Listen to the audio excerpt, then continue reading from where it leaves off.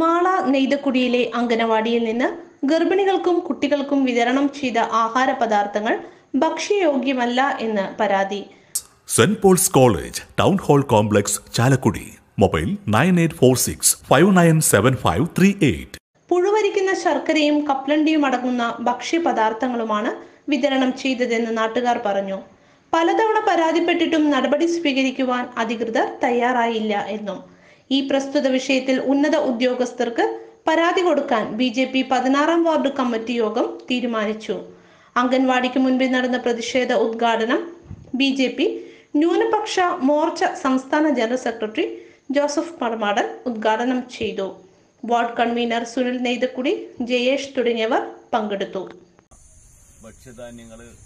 ഇതുപോലെ കേടുവന്നത് കൊടുക്കുമ്പോൾ അധികാരികളൊക്കെ ഒന്ന് ശ്രദ്ധിക്കേണ്ടതായിരുന്നു. ശ്രദ്ധിക്കാതിരുന്നത് വളരെ നിർഭാഗ്യകരമായി പോയി ഭക്ഷ്യസാധനങ്ങൾ ചിലപ്പോൾ കേടുവരും. പക്ഷെ കേടുവന്നാൽ അത് വിതരണം ചെയ്ത് അവസാനിപ്പിക്കുകയല്ലല്ലോ വേണ്ടത്. അത് നശിപ്പിച്ച് കളയുകയല്ലേ വേണ്ടിയിരുന്നത്. എന്തായിരുന്നാലും അങ്ങനെ ഒരു വലിയ ഒരു അപരാധമാണ് ഇവിടുത്തെ കുട്ടികളോട് ഇവിടുത്തെ ഈ അംഗനവാടിയുമായി ബന്ധപ്പെട്ട അധികാരികൾ ചെയ്തത്. അത് ബന്ധപ്പെട്ട അധികാരികളുടെ ശ്രദ്ധയിലേക്ക് കൊണ്ടുവരികയാണ് ഏറ്റവും വേഗത്തിൽ അതിനൊരു തിരുത്ത് ഉണ്ടാകണം എന്നാണ് ഞങ്ങൾ താല്പര്യപ്പെടുന്നത്. Chittilappilly opticals Jain tower south Chalakudy opposite little flower school Thana Irinjalakuda.